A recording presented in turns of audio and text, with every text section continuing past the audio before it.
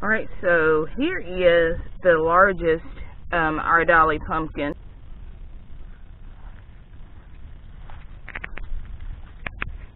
And don't come back. He's coming back. Anyway, um, over here, this pumpkin has flowers on it. Don't know if you can see that.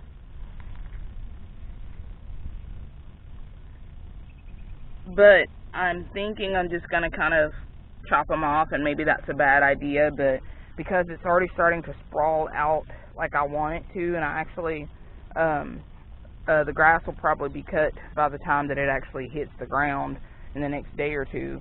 But it has grown about three inches every single day on all sides. And I'll tell you another thing that's growing. This is butternut squash over here, and this is the buttercup. The buttercup squash, this vine was supposed to go this direction, but all of them are going that direction except one.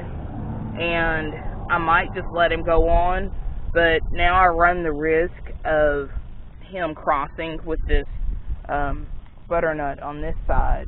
I'm about to move these butternut squash up and have them lean forward and, you know, tie them to this A-frame to kind of keep them separate. But I don't think the bees are going to keep them separate, which, you know, I kind of thought about that, and I won't save the seeds.